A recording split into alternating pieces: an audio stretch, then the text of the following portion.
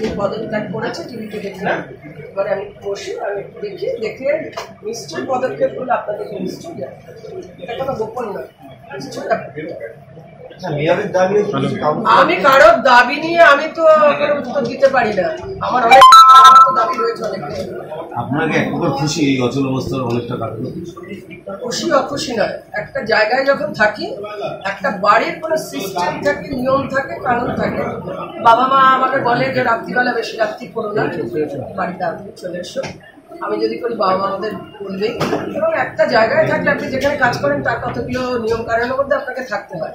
সেই নিয়ম কানুনগুলো যদি আপনি না মানেন, আপনার যিনি আপনার উপরে সাহেব আছেন, তিনি আপনাকে কি বলে বা বলবে, সেটা আপনি খুব ভালো করে জানেন।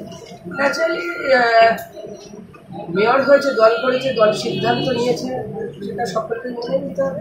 এবার যে অভিযোগগুলো সেগুলো আমি ক্ষতি দেবে যে অভিযোগগুলো করে কি করল? আমি না সবসময় আপনাদের বলি তোমার সামনে থাকেন